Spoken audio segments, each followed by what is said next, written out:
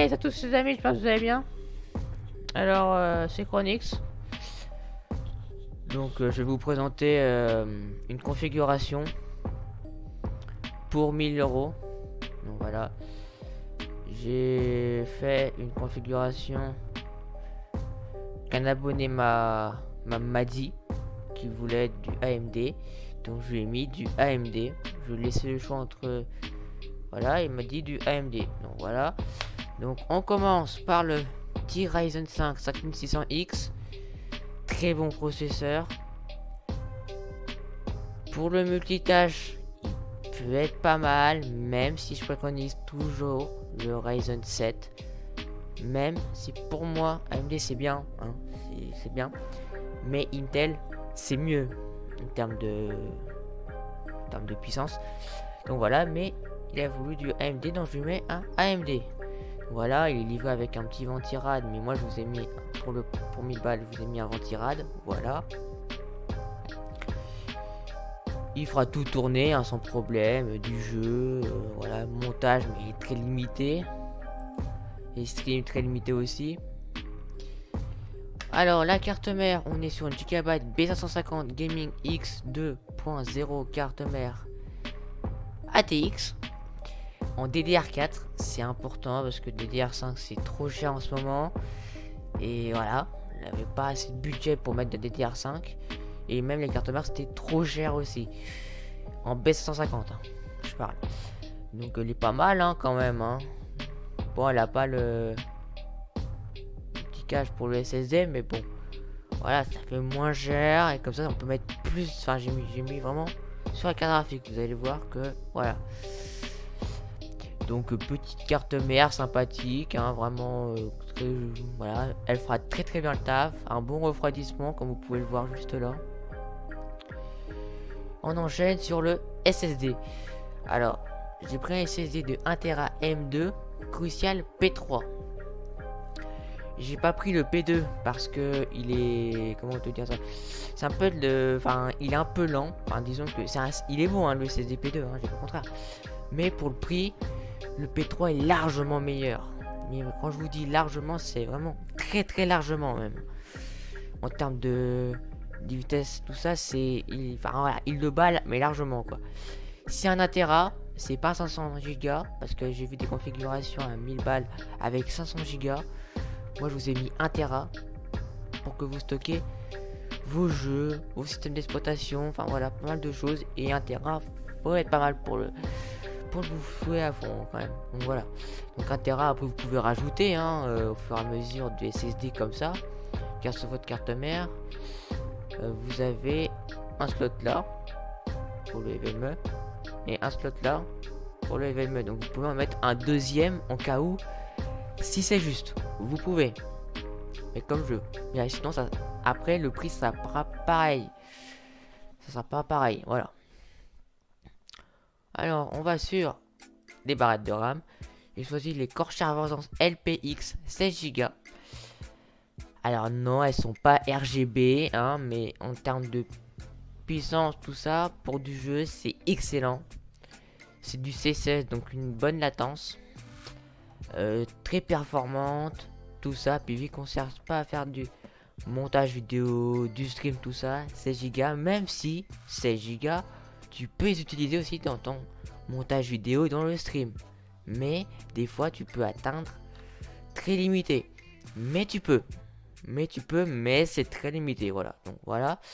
Mais tu peux. Mais c'est très limité encore une fois. Là, je suis parti sur un ventirad couleur master hyper 212 RGB Black Edition. Donc si vous avez parti sur du Intel, ce ventirad sera compatible. Donc voilà, si par exemple vous voulez changer, euh, voilà, sera compatible. Car il LGA 1700 pour les Intel, je précise. Mais vous inquiétez pas, hein.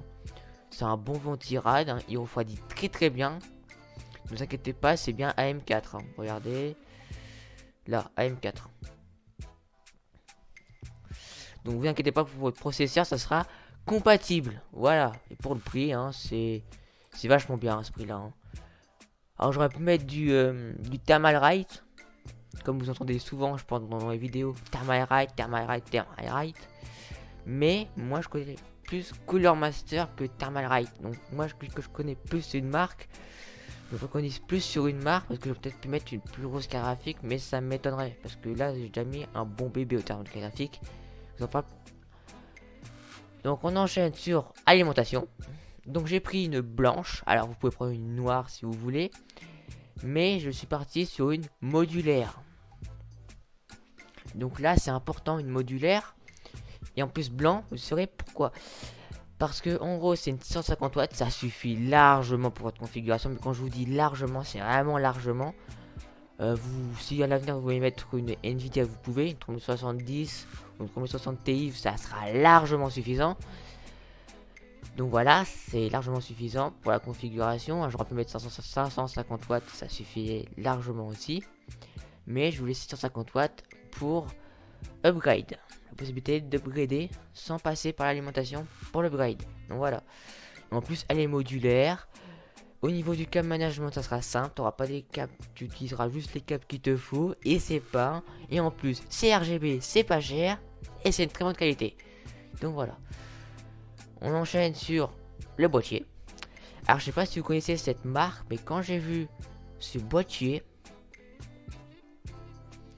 bah, vous, je pense que vous voyez la, la, visserie juste là. Si c'est vraiment comme ça, argenté comme ça, vraiment du argenté, au niveau, c'est vraiment c'est très qualitatif. Pour le prix, c'est très qualitatif.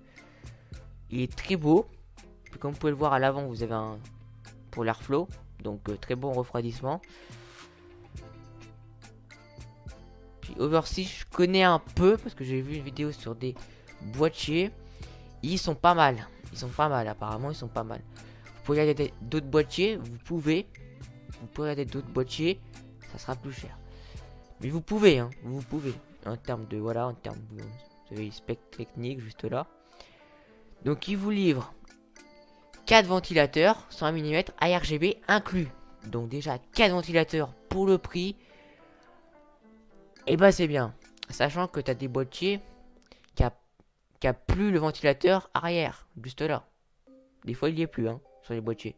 Que là pour 89 ou 95 t'as un boîtier qui est pas mal, qui est beau, qui est classe quand même, il est, il est très classe. Et pour le, et pour le PC, pardon, il sera très très bien. En plus, il est blanc, donc la poussière, vous verrez pas trop la poussière, à part sur les ventilateurs, ce que je viens de voir.